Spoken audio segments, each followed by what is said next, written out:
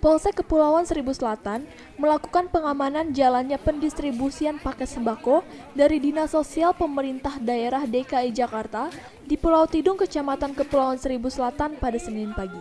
Sejumlah 1.413 paket sembako telah tiba di dermaga Pulau Tidung yang akan didistribusikan kepada warga Pulau Tidung, Kecamatan Kepulauan Seribu hari ini.